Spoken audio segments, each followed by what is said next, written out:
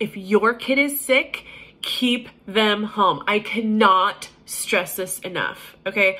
I see this all the time when parents send their kids to school or to church or to extracurricular activities when their child is ill, thinking that it will help them if they just pull through. Guess what? Kids aren't grown-ups. And you know what? I know an awful lot of grown-ups who can't push through sickness. So why are you expecting kids to? I don't understand. I really don't understand. Children will get zero, I mean zero educational benefit if they go to school when they're really sick. I mean, if they just have a little bit of a stuffy nose or a little cough, sure, send them to school.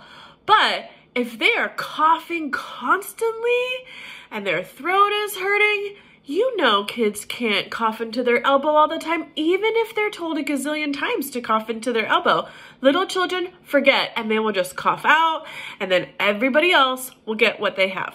Okay, if they have a constantly runny nose or a really stuffy nose, so they have to blow their nose every two minutes, keep them home. Okay, I don't understand why this is so hard.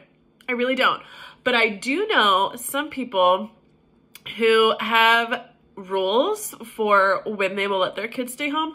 And I honestly think it's really stupid. I think it's a really stupid rule. Um, so I know some people who will only let their kids stay home from school if their child is vomiting or if they have a fever. And I'm like, okay, um, not every sickness has those two symptoms. And you know what? There's a lot of kids who don't get fevers, like ever. I am one of those people. I never get fevers. That doesn't mean I don't get sick.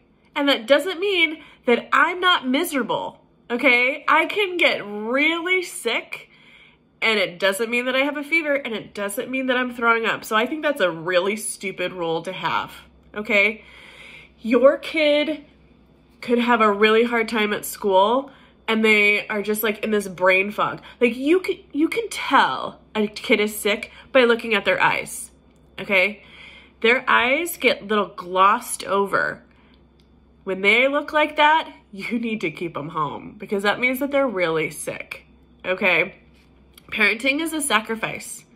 If you have to take a sick day, take a sick day to take care of your kid because your kid needs you. Now, I also know that there are some really dumb companies and jobs where you can't take a sick day. Well, find someone who can take care of your child, but don't send them to school. Because you know what? A lot of times, school's gonna send them back. I used to have parents who used to send their kids to school they, they had drugged them up on Tylenol before they came to school. Well, guess what? As soon as the Tylenol wears off, that kid has a fever and I'm forced to send him home. Don't be stupid. Keep your kid home, okay? Keep your kid home. Take care of your kid. Let them rest. Let them rest.